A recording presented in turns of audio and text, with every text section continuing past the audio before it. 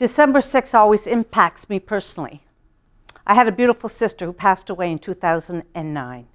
She lived for years in an abusive relationship that wore her down. It wore down her confidence, her spirit, and her light. She did get the courage to leave, but still experienced abusive phone calls and harassment. I think about her every day, but the memory is particularly poignant on December 6th, when I also remember the women who were killed because of their gender.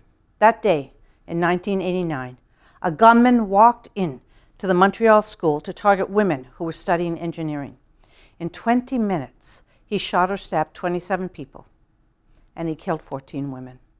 This tragedy was a hideous hate crime, and in its wake, it left an ever growing movement to bring an end to gender based violence and gender bias and the mistreatment of women due to their gender.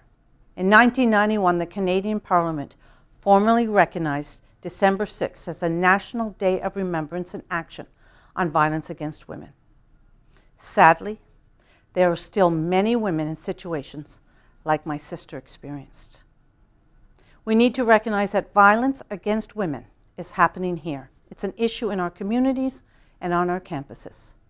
Combating this epidemic of violence against women requires sustained effort and a particular focus on education and support.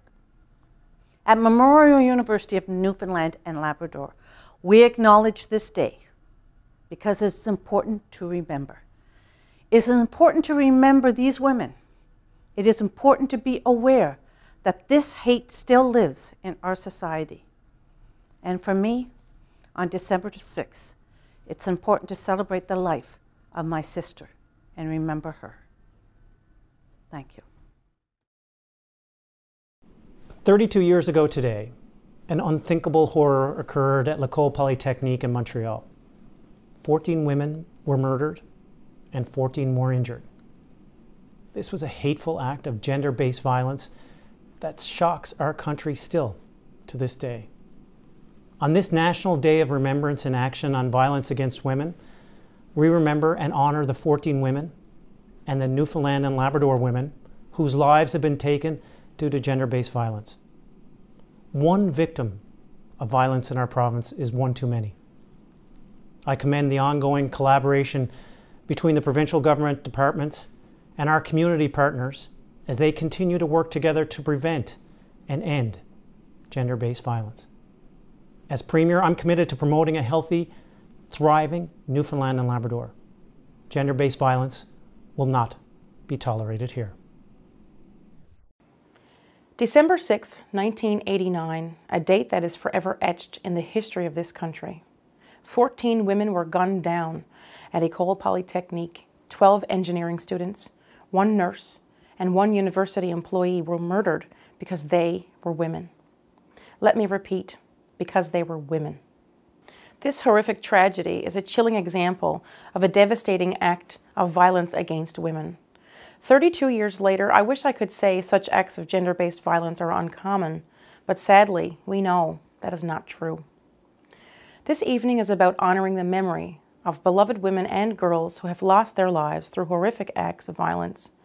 This evening is also about standing in solidarity to send a strong and clear message that violence against women and girls in our province must not be tolerated. The rate at which women and girls experience violence in our province and across our country is much too high, and it must stop. But for this to happen, we need to work together to challenge the root cause of gender based violence at every opportunity and support victims, their families, and our communities. As a government, we are committed to finding long term systemic solutions to end gender based violence. We recognize that it will take time to achieve this systemic change, and that it can only be achieved by addressing inequalities in all its forms. Tonight, I affirm government's commitment and my personal commitment to work together to prevent gender based violence and establish equality for women and gender diverse people free from fear and harm. Everyone has the right to live, work, and play without fear of violence. Thank you. Welcome. I'm Greg Naterer the Dean of the Faculty of Engineering and Applied Science at Memorial University. And on behalf of the faculty, I'd like to thank you for coming here to remember the tragic shooting event at Ecole Polytechnique in Montreal in 1989. I have friends at Ecole Polytechnique who were junior engineering assistant professors back in 1989 when this occurred, and they've told me firsthand the horror of the experience. In addition to those who were killed, the survivors and families suffered greatly.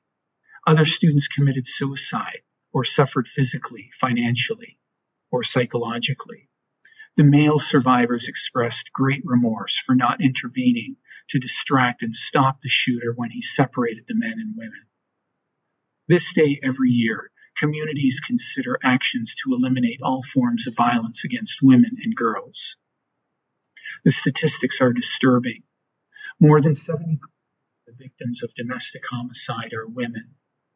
Around 300 women and their children flee a violent household every day in Canada. We must not be silent. We must take action.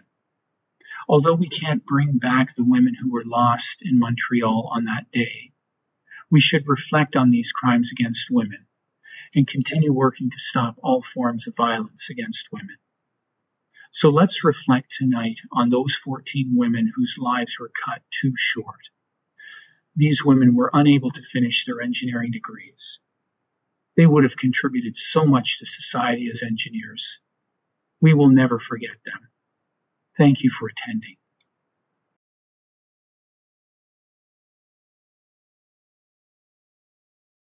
Geneviève Bergeron.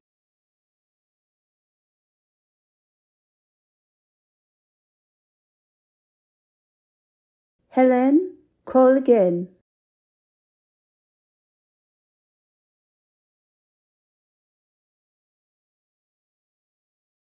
Nathalie Croteau.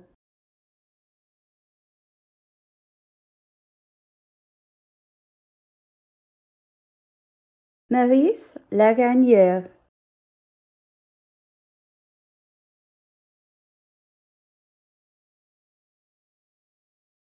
Maryse Leclair.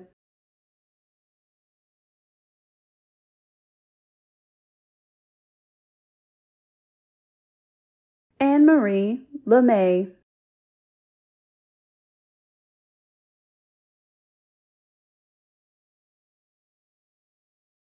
Barbara Daigneault.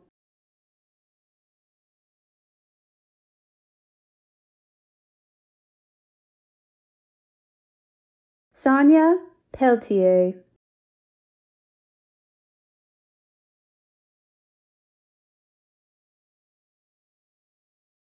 Anne Marie Edward.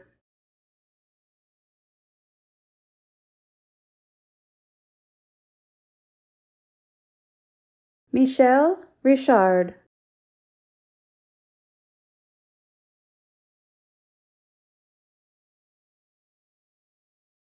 Maud Haviernick.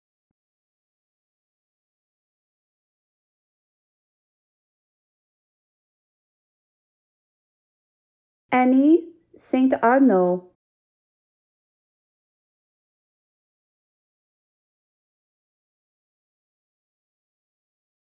Barbara Klucznik Widajewicz.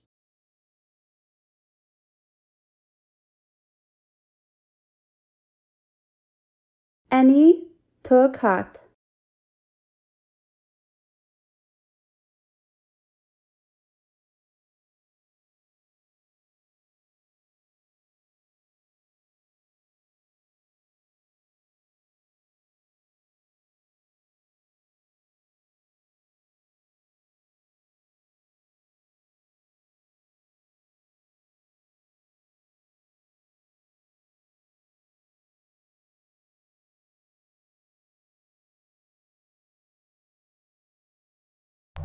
Hello, everyone. I would like to acknowledge the important work of the Sexual Harassment Office, the work they do across all of our campuses in helping to prevent sexual harassment and sexual violence. They do this through education, consultation, and training. If you or somebody you know has experienced sexual harassment or violence in any form, there are many supports and services available to you through the Sexual Harassment Office and the Student Wellness and Counseling Center. At Memorial University, we are dedicated towards making all of our campuses welcoming, safe, and harassment free. Hello, I'm Emily Woolley, Manager of Strategy, Planning, and Policy with the Department of Human Resources. On this, the National Day of Remembrance and Action on Violence Against Women, the Department of Human Resources is rejuvenated and committed in our efforts to make working conditions fairer, safer, and more respectful. At Memorial, we are committed to inclusion and equity. A few months ago, Memorial shared Transforming Our Horizons, the university's new strategic plan for the next five years. Within this plan, our commitment to equity, diversity, inclusion, and anti racism is intentional and foundational to our success in our workplace. Also, at the university, we encourage a working environment without harassment. We require all of our employees to complete mandatory workplace violence prevention training, and we encourage a working environment that is free of barriers for all women and those with diverse gender identities. In dedication to the women we are here tonight to honor, Human Resources is re energized and again committed to working with all areas of the university to embrace inclusiveness and diversity and support a respectful and unified workplace. Violence against Indigenous women and girls is a national tragedy. From 1980 to 2012, the RCMP have recorded over 1,000 cases of missing and murdered Indigenous women and girls, or MMIWG, in Canada. The Sovereign Bodies Institute database counts 1,724 confirmed cases of MMIWG in Canada. Indigenous women and girls are 12 times more likely to be murdered or go missing than our non Indigenous sisters. There are 231 calls to action in the MMIWG report. I urge you to review them and implement them where able. Let's stop gendered violence once and for all. Hi there, my name is Hilary Hennessy, and I'm the Executive Director of External Affairs, Communications, and Research at MUN Students Union. On behalf of our organization, I just wanted to share that we are very committed to tackling gender based violence on an institutional level in ways that include raising awareness of this act of violence and providing education around how to prevent it through our campaign initiatives, and providing students with proper advocacy support, such as one free hour of legal aid. If you are in need of advocacy support at this time, please do not hesitate to contact John at advocacy at munsu.ca. My name is Shushmita Barman, and I am the Sexual Harassment Board representative of the Graduate Students Union. The union would like to share its heartfelt condolences towards the glorious memory of 14 women who lost their lives on December 6, 1989. Through my position, I'm honored to be providing services to my fellow graduate students against any sexual harassment and any kind of gender based violence. I, on behalf of GSU, would like to applaud the MUN Sexual Harassment Office and the Department of Gender Studies for organizing this virtual vigil that upholds solidarity and justice for all women. Hi, I'm Dr. Vicki Hallett.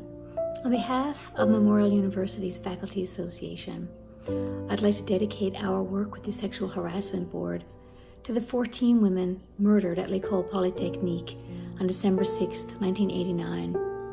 I'd also like to remind everyone that putting an end to gendered violence is a responsibility we all share. The Grenfell Campus Student Union is dedicated to ending the violence against women. We do this through our Challenge Sexism campaign as well as through our Consent is Mandatory campaign. We also provide students with the opportunity to join our Women's Caucus for those who identify as a woman or any marginalized gender. This is a space for folks to get together to discuss the concerns that are relevant to them, and we listen to their voices and help advocate to ensure that our community is safe for them, to ensure that no woman or marginalized gender or any individual has to face violence again. The Canadian Federation of Students of Newfoundland and Labrador would like to remember and celebrate the memory of the 14 women who lost their lives on this day 32 years ago. CFSNL stands united against all forms of violence. Gender based violence remains an issue in our institutions, and we must stand together and work towards the elimination of gender based violence by empowering and creating space for women and folks of marginalized genders, and to continue to fight for justice for the missing and murdered Indigenous women and girls. Hello everyone, my name is Valerie Barter, Executive Director of Violence Prevention here on Avalon East. We would like to dedicate our new program, which was launched this week, Navigating New Norms of Masculinity. We are very excited about this program. Programs seldom address those at highest risk of perpetrating gender based violence. We are surrounded by messages which support and enforce traditional male gender roles that expects boys and men to show few emotions and assert their dominance over those society see as powerless or without status. We would like to dedicate this to all missing and murdered women and girls in our province with the hopes that things will get better. Education and awareness are key.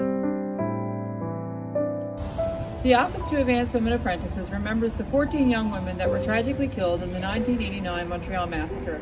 We are committed to creating awareness to end gender-based violence and recognize today as a National Day of Remembrance and Action on Violence Against Women. Educate yourself and your communities. Take action for a safer and more inclusive future. At the Newfoundland and Labrador Sexual Assault Crisis and Prevention Center, we join others in expressing our sadness at the loss of vital individuals robbed of opportunities to contribute to the communities by the 14 candles in front of us. Through a violent act of misogyny, these young women are gone too soon. At this time, we encourage everyone to remember loved ones, friends, acquaintances lost through violence by saying their names aloud. Barbara Daigneault was a 22 year old student who was to graduate at the end of the year with a degree in mechanical engineering. We remember Barbara Daigneault and her goals in life by encouraging young females to pursue education and careers in science and engineering. Since 1990, YSEP, along with its partners and sponsors, has placed over 1,000 students from across Newfoundland and Labrador in research positions in science and engineering. I, Claire Graves, Program Administrator of Women in Science and Engineering, am honored to be dedicating the work of the summer program in the memory of Barbara Daigneault. On December 6th is the 32nd anniversary of the death of 14 women at an engineering school in Montreal. As a National Day of Remembrance and Action on Violence Against Women, and on behalf of the Federation of Labour for Newfoundland Labrador, let us come together to honor and appreciate these women and all women who have lost their lives because of violence. Thank you. The Royal Newfoundland Constabulary remembers the 14 women lost to an act of gender-based violence over 30 years ago and the impact it had on our nation. We honor them and all those who have lost their lives to gender-based violence with our dedication to supporting victims and survivors promoting their safety and well-being. With our focus on accountability for perpetrators of violence and how we serve our communities each and every day, we will continue our efforts to take action against gender-based violence. As a sexual harassment advisor at Memorial University, I would like to thank you for taking time this evening to honor and remember the women who were brutally murdered solely because they were women. I would also like to take a moment to honor the missing and murdered women and girls of Newfoundland and Labrador. As we conclude this evening, I would ask that you take a moment to reflect and recommit to the vital changes in our personal lives and in our society that need to happen in order to end all forms of violence against women and to make a personal pledge silently to yourself or to share with us on the pledge cards available. Thank you.